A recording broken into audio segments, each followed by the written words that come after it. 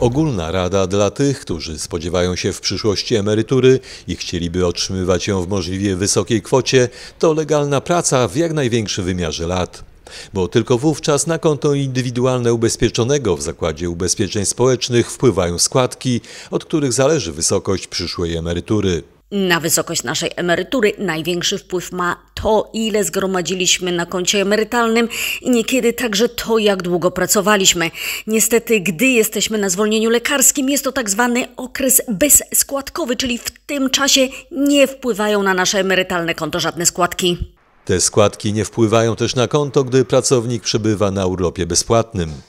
Warto więc o tym wszystkim pamiętać już od początku swojej kariery zawodowej, jeśli oczywiście chce się liczyć na to, że przyszła emerytura będzie podstawą utrzymywania na starość. Warto pamiętać o tym, że gdy chorujemy, dostajemy wprawdzie zasiłek chorobowy, ale jest on nieoskładkowany, czyli do ZUS-u nie wpływa nic.